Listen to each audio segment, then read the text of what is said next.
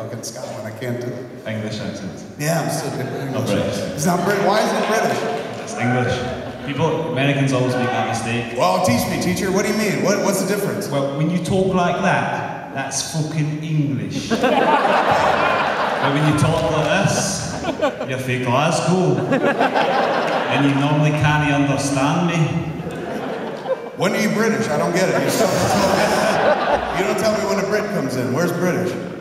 The, the British one is the first one when you do your English accent, like the way. But isn't that Scott, English? The way Scott does on Smodcast. Right, right, right. But isn't that English? That's English, but you always call it British. It's not the same thing? No, Why not? no, Why not? The British is not Because- used to describe the, the accent or something? no. Everyone always makes that Wait, mistake. wait, wait, hold on. There is no British? No, no, no. There is Are you guys planning another revolution here? Because I don't want any fucking part of it. Wait, British is, inaccurate, is incorrect? No, British is the United Kingdom, England, Britain. Scotland, Yes. Northern Ireland, Wales. Britain. All of that is Britain. But English people and American people always make the mistake of calling British people English or English people British. And that's not. British would cover everybody. You'd be British. Fucking, I feel I should give them a map out here. You might need to, dude, and even then, still not gonna get it. You might need to bring Scott to explain it to me like an idiot. Well, when Scott does his accent, that's English, not British. Yes. But fucking, that wasn't my question. I think it was. Next. Go ahead, man. Um, well, the, the question is, Kevin, I always find your films really musical, and I was wondering when you're writing, um, do you have songs in mind for particular scenes? And when it comes to, you know, when they're actually getting made, how much of a final say do you get for songs that are in? Um, pretty, I, pretty much I've got a lot of say. I, I guess final say, right? Um, sometimes if a song's too expensive, I'll get outvoted or vetoed or something. Harvey will be like, that's too much, back when I was used to work with them. Um, and then I would come up and be like, hey man, like, you know, I, this is something I used to do all the time. Did twice very sincerely back in the Miramax slash Weinstein days. And then every time after that, it was bullshit. We needed money for a song. And Harvey was just like, no, man, it's too much. It's breakage. You're going, you're going over. I'm not paying for that fucking song. Stupid. And I was like, all right, well, um, I said, I need the song. I think it works. So I'm willing to pay for it. So you can just, can you take it out of my salary? Because I'll, I'll, I'll pay for it. And he was just like, oh, no, I'll fucking pay for it, Ken. Can't have fucking the filmmakers running the asylum, you know, and then he paid for it and shit. And I was like, right on.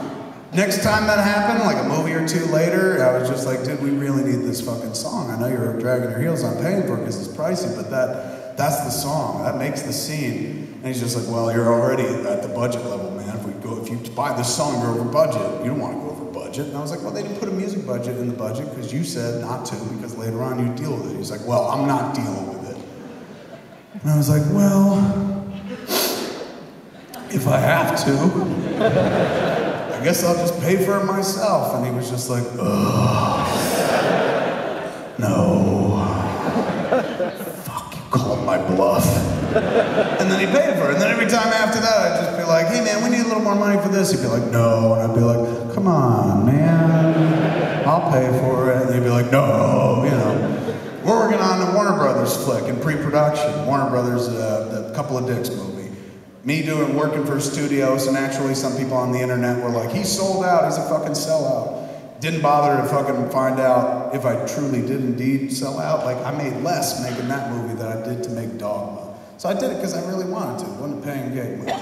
Um, to work with Bruce Willis, or rather, be stared at awkwardly by Bruce Willis.